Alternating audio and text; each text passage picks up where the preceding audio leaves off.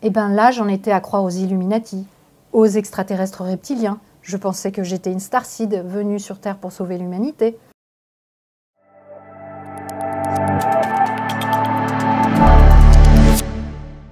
Tout ce courant-là dans lequel on est, où on parle d'astrologie, de tarologie, de pierre, de lithothérapie, euh, euh, de, Reiki, et toutes ces choses-là autour des énergies, autour de la pensée positive, ça fait partie d'un grand mouvement qu'on appelle le New Age, le Nouvel Âge. Vos grands-parents, par exemple, ils ont entendu parler du New Age par les hippies, hein, les, les peace and love des années 60-70. Mais en fait, ça remonte à encore plus loin. Ça remonte à la fin du 19e siècle aux États-Unis. C'est là qu'est né le New Age on parlait déjà des énergies, on parlait déjà du potentiel euh, divin qui est euh, présent en chacun. Et en fait, tout, euh, tout ce qu'on retrouve aujourd'hui, ça a pu évoluer avec le temps, bien sûr, parce que c'était il y a 150 ans, les choses évoluent, mais on retrouve vraiment toutes ces bases-là qui consistent en fait à dire, nous sommes une part de Dieu et nous sommes venus nous incarner sur Terre pour faire l'expérience de la matérialité, de l'humanité en l'occurrence, mais il y a d'autres gens qui vont s'incarner sur d'autres planètes pour vivre d'autres choses. Voilà, donc ça c'est le New Age.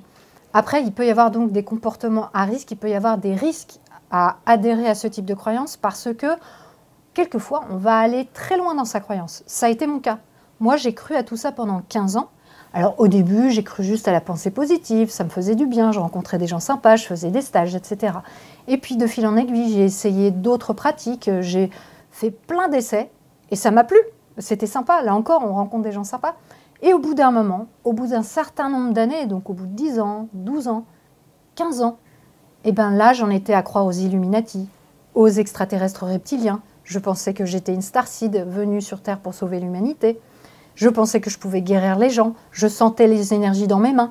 Et j'ai appris une chose quand j'en suis sortie, c'est que c'est pas parce qu'on ressent des choses dans son corps que ça représente une réalité. C'est-à-dire, oui, je peux les ressentir et je les sens vraiment, je suis sincère, je sens les choses. Mais ça ne veut pas dire que je sens quelque chose qui, physiquement, si on l'étudie euh, par la biologie ou les sciences physiques, est un fait. Voilà. Donc ça, c'est très important, c'est quelque chose que j'ai appris, c'est que notre cerveau, en fait, il peut nous faire croire à plein de choses. Il peut nous faire interpréter le réel de telle sorte que on croit que c'est vrai, notre interprétation est la bonne, alors qu'en fait, si on a un regard objectif que peut nous permettre par exemple la science, eh bien, on s'aperçoit que cette interprétation est erronée.